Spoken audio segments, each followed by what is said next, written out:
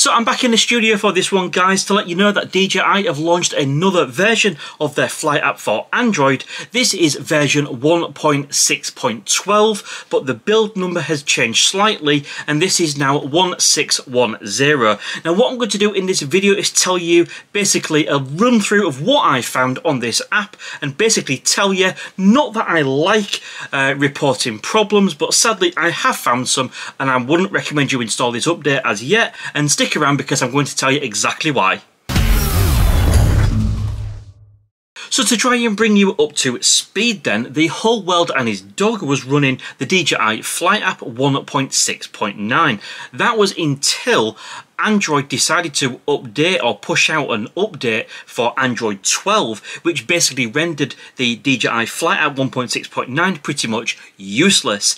Then DJI uh, sent me a beta version of the DJI Fly App. This was 1.6.12, uh, which got absolutely thousands of you flying again, but it did come with a slight problem. So this slight problem was essentially uh, the fact that the flight logs was not working, and of course this this version was only ever a beta.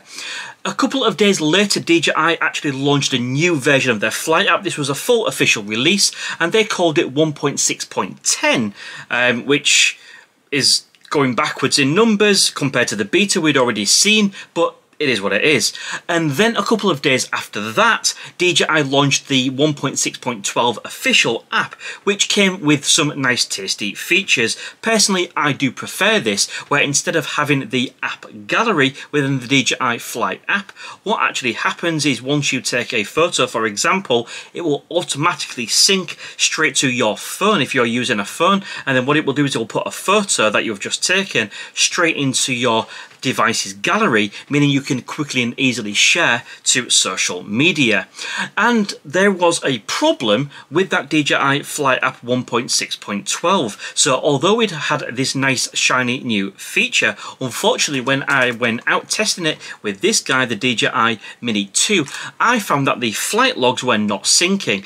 I posted this video to say that uh, the flight logs were not syncing and I would actually avoid this version.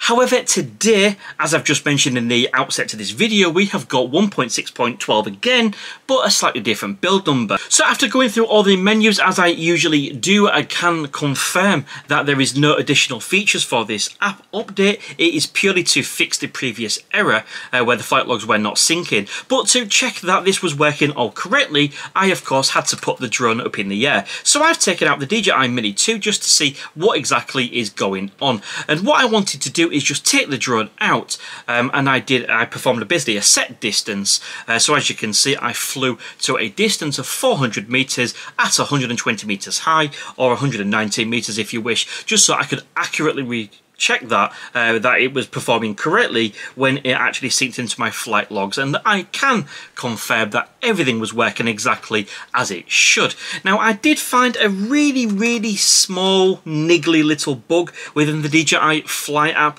Again I'm talking specifically for Android by the way. It may well be that iOS users have a slightly better experience and do not suffer from these issues. But what I found is every time I powered down the controller, powered down the drone and then powered back up again and restarted the DJI Fly app. For some reason, again, such a silly thing, um, but my uh, LED light I do have set on yellow, and for some bizarre reason, uh, the display on the actual app kept saying that it was on grey, um, whereas it was actually displaying yellow, so it was doing what I wanted it to do, but um, the display was inaccurate.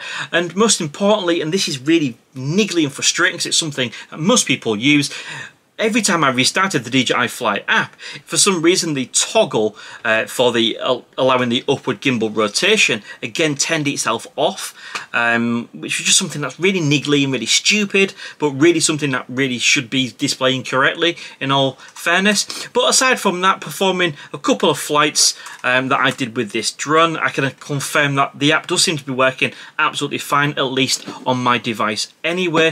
But of course, you know, please do let me know your thoughts and what your experience is in the comment section below. But overall, as it seems, um, just down to the little niggly bugs that is on the DJI Fly 1.6.12, I would still, at this stage, my personal recommendation, and as you know by now, this is kind of what I do, um, as much as I don't like giving bad news, I would stick to 1.6.10, uh, because even this new version, which is being launched this evening, doesn't seem to be performing just how I would like and confident enough to say that you should install it, uh, no questions asked.